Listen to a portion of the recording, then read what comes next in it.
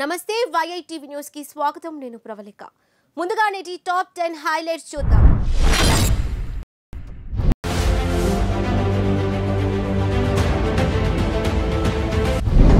ఈ నెల పద్నాలుగున వికారాబాద్కు కేసీఆర్. నిజామాబాద్ జిల్లాలో ఘోర రోడ్డు ప్రమాదం. నలుగురు మృతి. జూరాలకు పోటెత్తిన వరద. దిగువకు నీరు విడుదల. భద్రాచలం వద్ద పెరుగుతున్న గోదావరి ఉధృతి. రెండో ప్రమాద హెచ్చరిక జారీ. ఈ నెల పదకొండు నుంచి పదిహేను వరకు సెలవులు.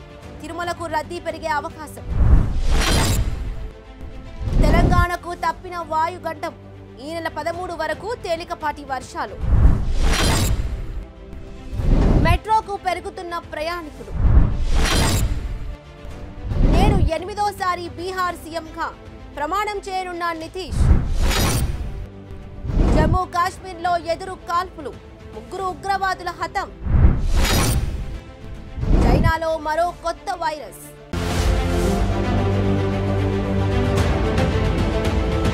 ఇక వివరాల్లోకి వెళ్తే సీఎం కేసీఆర్ ఈ నెల పద్నాలుగున వికారాబాద్ జిల్లాలో పర్యటించనున్నారు. జిల్లా కేంద్రంలోని సమీకృత కలెక్టర్ కార్యాలయ భవనాన్ని ప్రారంభిస్తారు. స్వతంత్ర భారత వజ్రోత్సవాల సందర్భంగా జిల్లాలో జరుగుతున్న కార్యక్రమాల గురించి అధికారులను అడిగి తెలుసుకుంటారు. పలు కార్యక్రమాల్లో పాల్గొననున్న సీఎం అనంతరం బహిరంగ సమావేశంలో ప్రసంగించనున్నారు. నిజామాబాద్ జిల్లా ముప్కాలులో ఘోర ప్రమాదం జరిగింది. ఈరోజు ఉదయం వేగంగా వెళుతున్న కారు ముక్పాల్ వద్ద అదుపు తప్పి బోల్తా పడింది. దీంతో కారులో ప్రయాణిస్తున్న నలుగురు అక్కడికక్కడే మృతి చెందారు. మరో ముగ్గురు తీవ్రంగా గాయపడ్డారు. సమాచారం అందుకున్న పోలీసులు ఘటనా స్థలానికి చేరుకొని సహాయక చర్యలు చేపట్టారు. క్షతగాత్రులను ఆసుపత్రికి తరలించారు. హైదరాబాద్ నుంచి నిర్మల్ వెళ్తుండగా ప్రమాదం జరిగిందని ప్రమాద సమయంలో కారులో ఏడుగురు ఉన్నారని మృతుల్లో ఇద్దరు చిన్నారులు ఉన్నారని చెప్పారు. ఈ ఘటనపై కేసు నమోదు చేసి దర్యాప్తు చేపట్టారు. జూరాల ప్రాజెక్టుకు భారీగా వరద చేరుతుంది. ఎగువ నారాయణపూర్ ప్రాజెక్టు గేట్లు ఎత్తివేయడంతో జూరాలకు వరద పోటెత్తింది. దీంతో ప్రాజెక్టులోకి లక్ష అరవై ఒక్క వేల క్యూసెక్యుల వరద నీరు వస్తుంది. దీంతో అధికారులు జలాశయం ముప్పై ఏడు గేట్లు ఎత్తి లక్ష నలభై ఆరు క్యూసెక్యుల నీటిని దిగువకు వదులుతున్నారు. ప్రాజెక్టు పూర్తి స్థాయి నీటి మట్టం మూడు వందల పద్దెనిమిది పాయింట్ ఐదు వందల పదహారు మీటర్లు కాగా ప్రస్తుతం జలాశయంలో మూడు వందల పదిహేడు పాయింట్ ఏడు వందల యాభై మీటర్ల నీటి మట్టం ఉంది. జూరాల గరిష్ట నీటి నిల్వ సామర్థ్యం తొమ్మిది పాయింట్ అరవై ఐదు టీఎంసీలు కాక ఎనిమిది పాయింట్ నూట ఇరవై ఆరు టీఎంసీలు నీరు నిల్వ ఉందని తెలిపారు. భద్రాచలం వద్ద గోదావరి ఉధృతి మళ్ళీ పెరిగింది.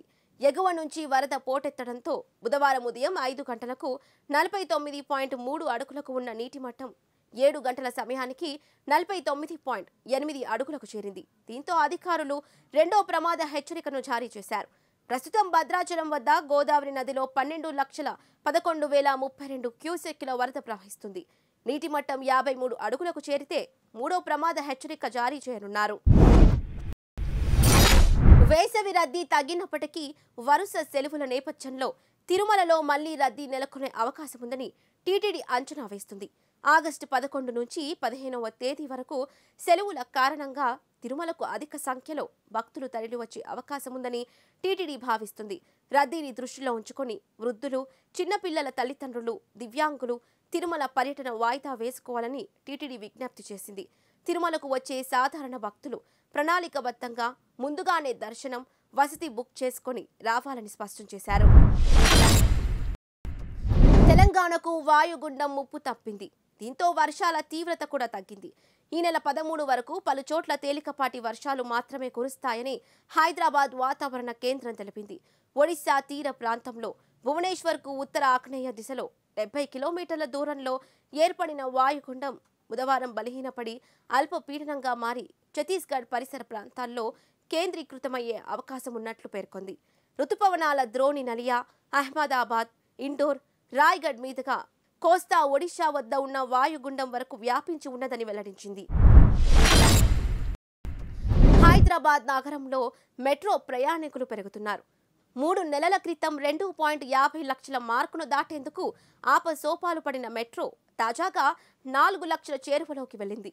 త్వరలోనే కోవిడ్కు ముందు నాటి ప్రయాణికుల సంఖ్యను నమోదు చేసుకునేందుకు ప్రయత్నిస్తుంది. కోవిడ్కు ముందు మూడు కారిడార్లలో రోజుకు సగటున నాలుగు పాయింట్ పది లక్షల నుంచి నాలుగు పాయింట్ ముప్పై లక్షల మంది వరకు రాకపోకలను సాగించేవారు. బీజేపీతో తెగదెంపులు చేసుకొని ఎన్డీఏ కూటమి నుంచి వైతొలికి మహాగఢ్ బంధన్లోకి వెళ్ళిన నితీష్ కుమార్ బుధవారం బీహార్ ముఖ్యమంత్రిగా ఎనిమిదోసారి ప్రమాణ స్వీకారం చేయబోతున్నారు. నితీష్ మంగళవారం గవర్నర్ ఫాగు చౌహాన్కు తన రాజీనామాను సమర్పించారు. అదే సమయంలో నూట అరవై నాలుగు మంది ఎమ్మెల్యేల జాబితాను కూడా అందజేశారు. ఇక బీహార్లో కొత్త ప్రభుత్వాన్ని ఏర్పాటు చేయడానికి తమకు ఏడు పార్టీలు మద్దతు ఇస్తున్నట్లు తెలిపారు.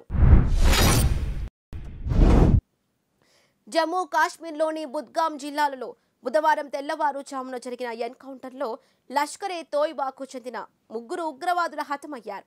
పలువురు పౌరులను హత్య చేసిన ఉగ్రవాది లతీఫ్ బుధవారం నాటి ఎదురు కాల్పుల్లో చిక్కుకున్నాడని కాశ్మీర్ అదనపు డీజీపీ విజయ్ కుమార్ చెప్పారు.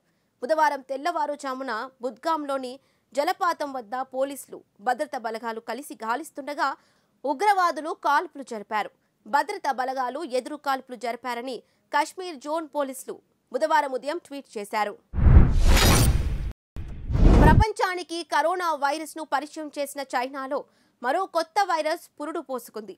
నోవల్ లంగ్యా హెసీనా వైరస్గా గుర్తించిన నిపుణులు దాని బారిన ఇప్పటి వరకు ముప్పై ఐదు మంది పడినట్లుగా అక్కడి అధికారులు తెలిపారు. వైరస్ వ్యాప్తిని గుర్తించేందుకు న్యూక్లిక్ యాసిడ్ పద్ధతిని అనుసరిస్తున్నట్లు పేర్కొన్నారు. చైనాలోని షాంగ్డాంగ్ హెనాన్ ప్రావిన్స్లలో ఈ కొత్త వైరస్ లేవి కేసులు నమోదయ్యాయి. లేవి వైరస్ జంతువుల నుంచి మనుషులకు సోకి ఉంటుందని అక్కడి వైద్యులు ప్రాథమికంగా అంచనా వేస్తున్నారు. ఇది సోకితే మూత్రపిండ సమస్యలు కాలేయ సమస్యలు ఉత్పన్నమయ్యే అవకాశం ఉందని చెబుతున్నారు.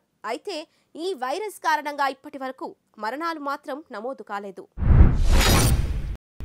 ఇక ఐవీ నేటి టాప్ టెన్ న్యూస్ చూస్తూనే ఉండండి. YITV news.